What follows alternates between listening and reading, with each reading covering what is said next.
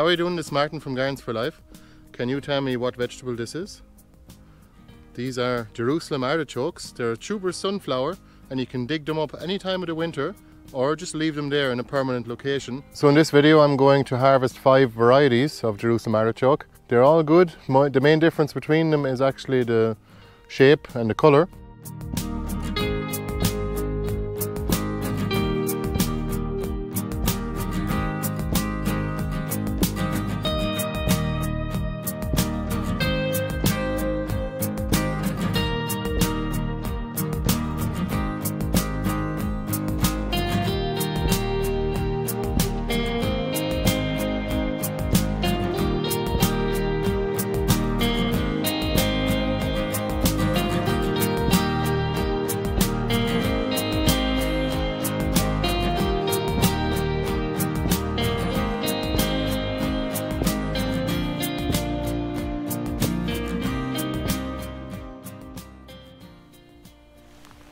The best way you can support the channel is actually to give us a quick thumbs up if you don't mind. We'd highly appreciate it. One of the first jobs is to actually just cut back the stalks. Uh, we'll just use the secateurs for that. So we're just going to clear those first and then we're going to start digging the tubers.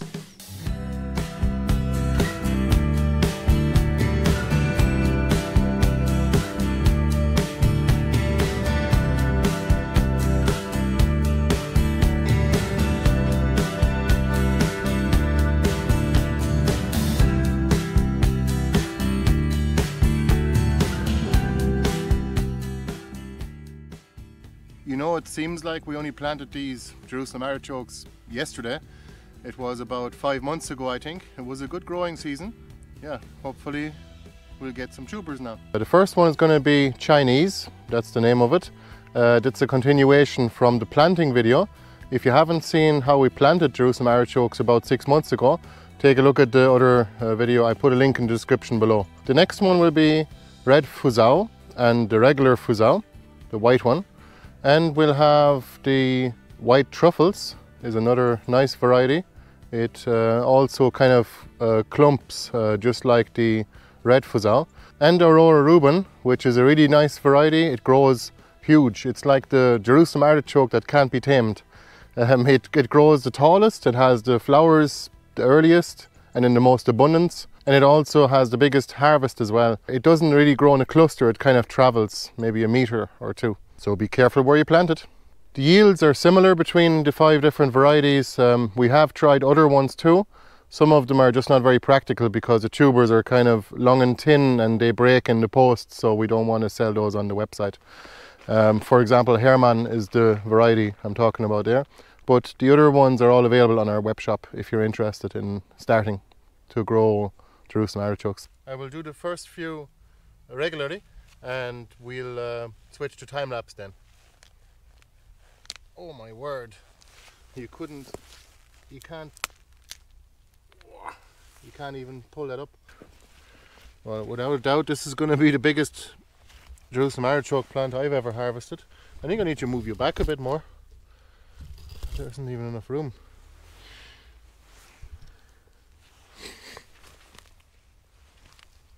Well, this one here has definitely been doing very well because it was planted just at the edge.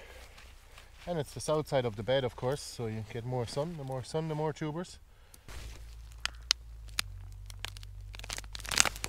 Nope, that can't be pulled up in one go. I think I'm going to need to get a shovel. Alright, the ground is solid tubers here.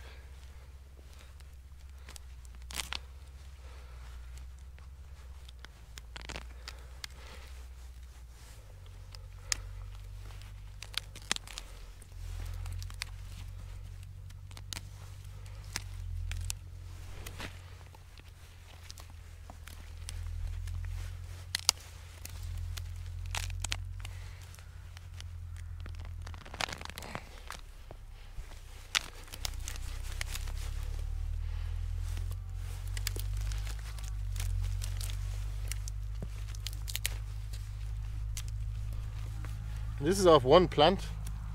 It's a good few in it.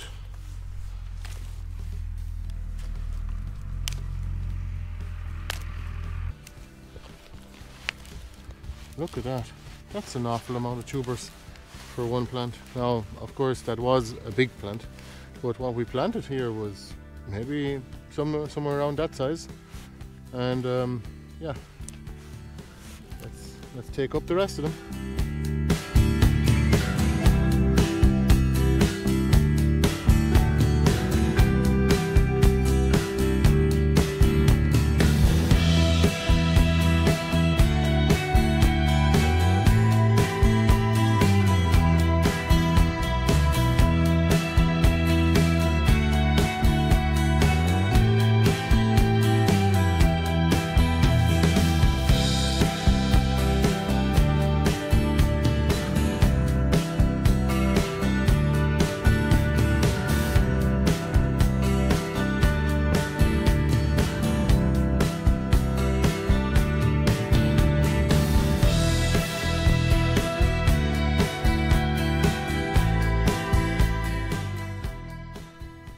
Well, I'm pretty impressed. Uh, that was only about four plants or so. And you can see the crate is already full. Um, probably maybe 10 kilos or 12 kilos in it already. One crate will do me grand for now. Uh, I'm going to dig up another variety or two just to see how they did. Don't forget, you have to cure your Jerusalem artichokes um, before eating them because otherwise there's an awful amount of inulin in them which makes you fart and it is it is it might sound funny but um, it can be a problem for some people. So the best thing you can do with these is actually put them on a sunny windowsill or on the table in the greenhouse for a week or two and the inulin in the tubers uh, will turn into starch which is much easier to digest. We'll go with the uh, red Fuseau next. Let's give it a try. Again what am i doing trying to pull up the whole thing in one go? But let's give it a try anyway look at that. Amazing.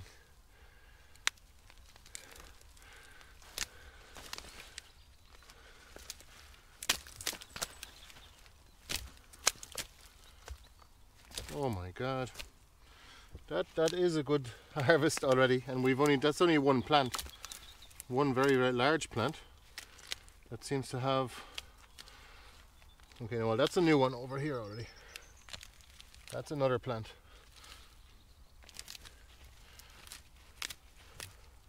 That's, this is still part of the same plant.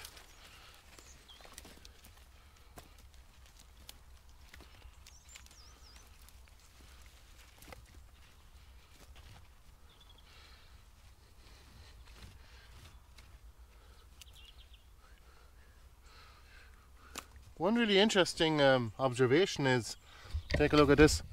That's actually the ground underneath, that where the grass, we just smothered the grass with plastic, took the plastic away, and then put the compost on, you can see how the compost layer is right here, which is probably about 10 inches or 25 centimeters or so.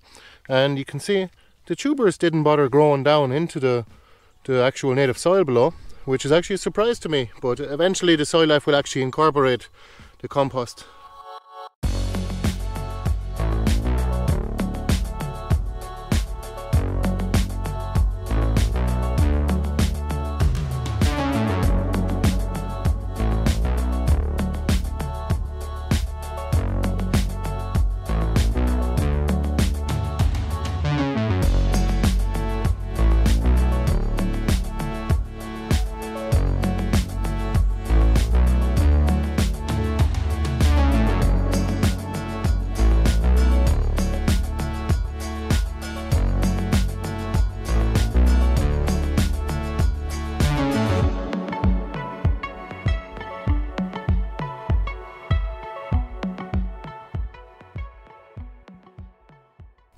amazing. What a productive plant. I've only dug up one square meter and still already a full crate as you can see of Jerusalem artichokes. And this is red Fuseau it's pretty nice. It grows around typically a bit like this one. They're a really nice tuber. We got them about six years ago and we've been growing them ever since. Absolutely prolific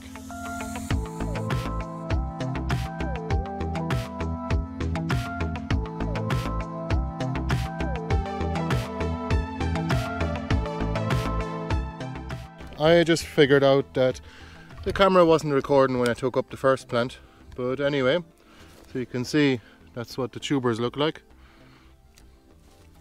They do get quite big and um, they do spread too though. You see how that can be the original plant can be just here and then they kind of spread out uh, maybe up to half a meter to a meter from the base of the plant.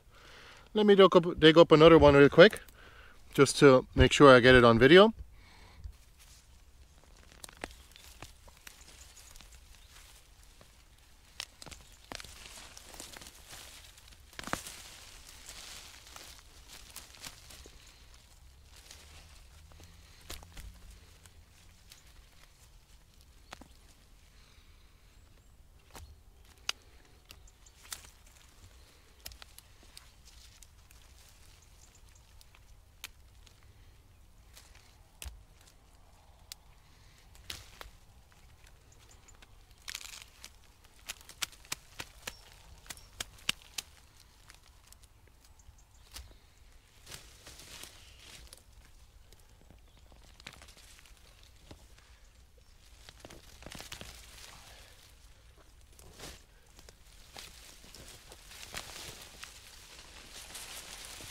Wow. I think that's two plants in one. Maybe even three. There's one.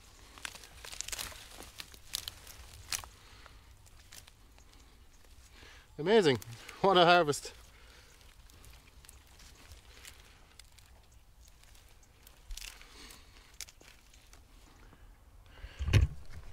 Well, pretty good harvest. Um, I'm going to dig up one or two more just to fill the crate although I think what I have here will already do it.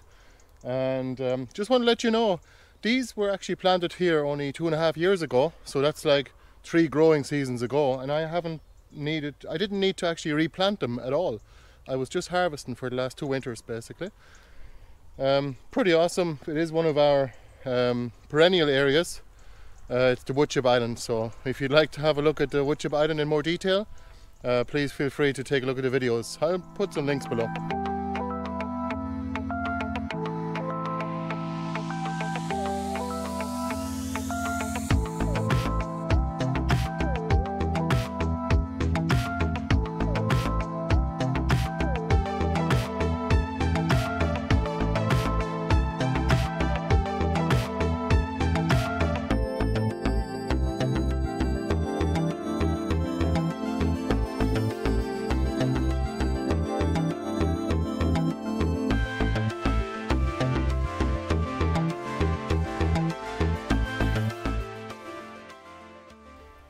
Jesus, nearly getting dark out here. Next up, Fuseau, uh, the white one.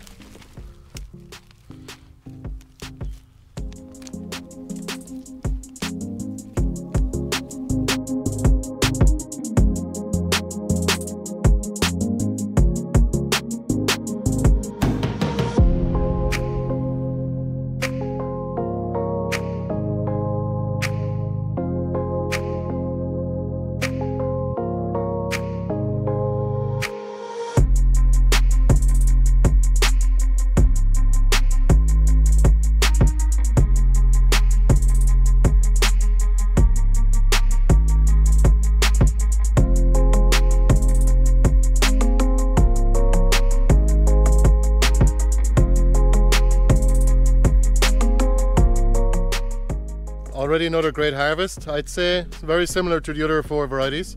Um, definitely clusters, it stays in one place. It doesn't go traveling off too far.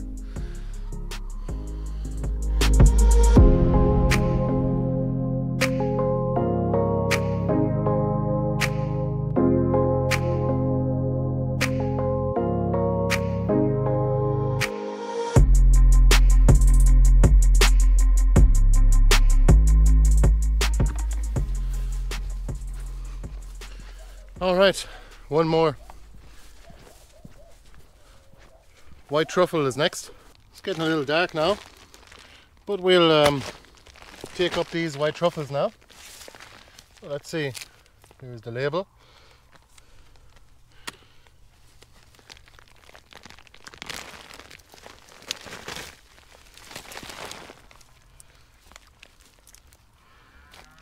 These ground is solid tubers here.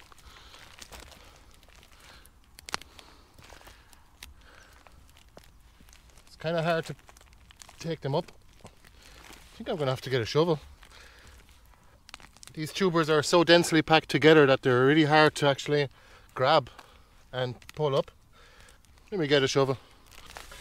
Alright, I got a headlight because it's getting a bit too dark to film.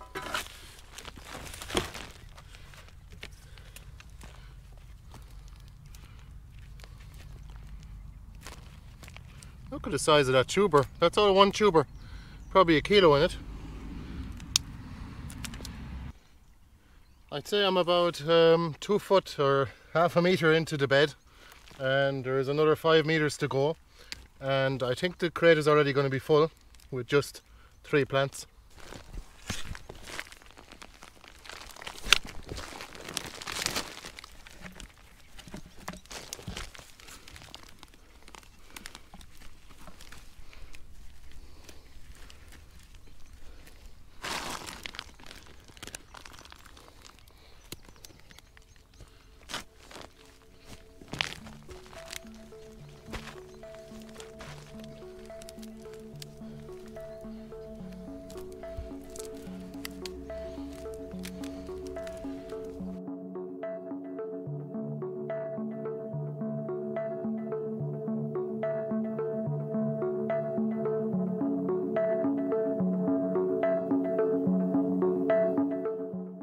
Thanks so much for watching the video. Really appreciate it. And hopefully you got something out of it. Uh, please give us a thumbs up if you don't mind because it helps to get the video out there even more. And if you're looking for tubers to start growing these yourself please take a look at our website. Uh, we have a, a, lot of different varieties of different types of tubers like Jerusalem artichokes uh, Mashua, Oka, Apios, uh, Chinese artichokes and a number of other ones. Thanks a million. Thanks for your support. Bye bye